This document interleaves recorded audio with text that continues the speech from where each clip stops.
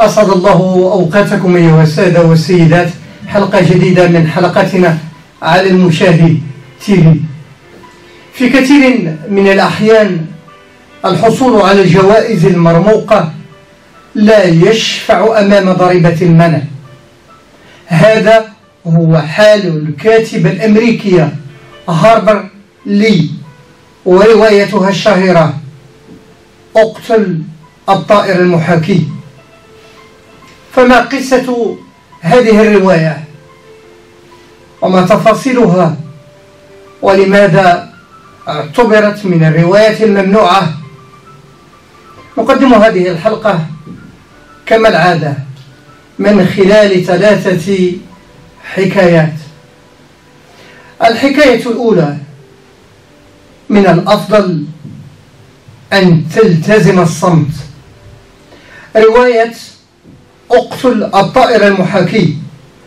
هي رواية كتبت عام 1960 للكاتبة الأمريكية هاربر لي حيث عرفت نجاحا منقطع النظير فور إصدارها ولكنها تعرضت للمنع بعد ذلك حيث فازت بجائزة البوليتزر الشهيرة الأمريكية وأصبحت مرجعا أساسيا ومرجعا من كلاسيكيات الأدب الأمريكي والأدب العالمي. الرواية مستوحاة من ملاحظات للكاتبة حول عائلتها وجيرانها حينما تقع, تقع حادثة بالقرب من مدينتها حينما كانت تبلغ من العمر عشر سنوات. تقول الكاتبة من الأفضل أن تكون صامتا خيرا من أن تكون أحمقا. فالكتاب الذي يجب أن تقرأه ليس هو الكتاب الذي تفكر فيه بل الكتاب الذي يجعلك تفكر. انتهى كلام الكاتبة. نعم تفكر في الرجل الجيد والكتاب الجيد والمرأة الجيدة. والمحامي الجيد وكذلك القضية الجيدة. تقول الإنسان. آه. الحكاية الثانية رواية من أجل الإنسانية. رواية الطائر المحاكي. هي نداء أو هي نداء استغاثة من أجل المساواة والعدالة. ومناهضة العنصرية.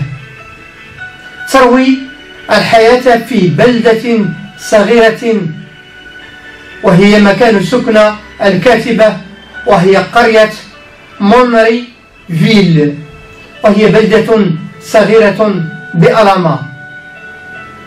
خلال سنوات الأزمة الاقتصادية والكساد الكبير وبشكل خاص عن حلقة يدافع فيها المحامي أتيكوس فينيش وهو رجل محترم في مجتمعه ونموذج للخير والإحسان يهم بالدفاع عن رجل أمريكي من أصل إفريقي متهم زورا باغتصاب امرأة بيضاء في إطار جنوب, جنوب عنصري للغاية حيث يدان الرجل الأسود بسبب لون بشرته. الدفاع عن الأمريكي الأسود اعتبر جريمة وسوف يجلب للمحامي أتيكوس العديد من الصعوبات والمشاكل مع جيرانه العنصريين وتحاك ضده مؤامرات متوازية أخرى مثل الزج بطفلتين يتيمتين في الموضوع. ورجل يعيش في بيته ولا يعرف عنه أي شيء منذ سنوات. لكن حكاية منع الرواية تعود أنها يعني الرواية أثارت صراعات وقضايا مختلفة بين سكان مدينة جنوبية تدعى مايكون حيث تتجلى المواجهات الساخنة بين الأغنياء والفقراء. والصراع الطبقي على أشده بين السود والبيض وميلاد الحركات المدنية للسود والدفاع عن مكتسباتهم ومطالبهم.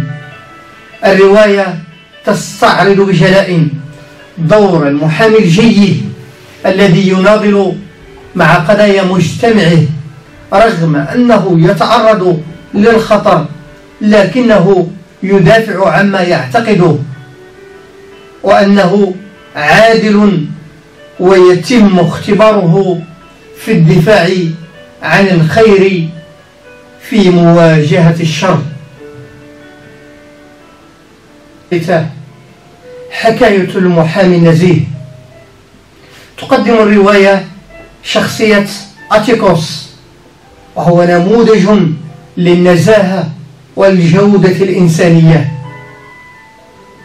وهو محامي بطبيعة الحال ضد المحامين أو محامي الزور ومحامي البهتان والأفاقين والمتعايشين مع السلطة ومع الكذب والنفاق. تقول الكاتبة على لسان بطل الرواية قل دائما قل دائما الحقيقة ولا تؤذي أبدا الآخرين. ولا تصدق أنك أهم كائن على وجه الأرض. تعرضت الكاتبة للتهميش بسبب إصرارها على مواقفها المعلنة في الرواية وبنقدها الصارخ للأوضاع داخل المجتمع الأمريكي. وظلت منبوذة تعاني الأمرين. تحولت الرواية إلى فيلم سينمائي عام 1962 بذات العنوان. ولكن الكاتبة توقفت عن الكتابة حتى عام 2015 لتصدر رواية ثانية مستوحاة من أحداث الرواية الأولى الممنوعة. للإشارة. الكاتبة من مواليد 28 أبريل 1926 وتوفيت في 19 فبراير 2016 عن عمر يناهز 86 عاما. في روايتها الثانية اذهب وضع حراسة. العنوان مستوحى من الإنجيل من الفصل 21 الآية 6 بالنسبة للرب قال مثل هذا وضع حتى يحمله بما يراه. تقول الكاتبة قبل أن تتمكن من العيش مع الآخرين تعلم العيش مع نفسك. فإن ضمير الإنسان فإن ضمير الإنسان هو الشيء الوحيد الذي لا يمكن أن تحكمه الأغلبية. تقول الكاتبة قبل أن تتمكن من العيش مع الآخرين تعلم العيش مع نفسك. فإن ضمير الإنسان فإن ضمير الإنسان هو الشيء الذي لا تحكمه الأغلبية. مضيفة يا بني يا بني هناك أشياء كثيرة في هذا العالم.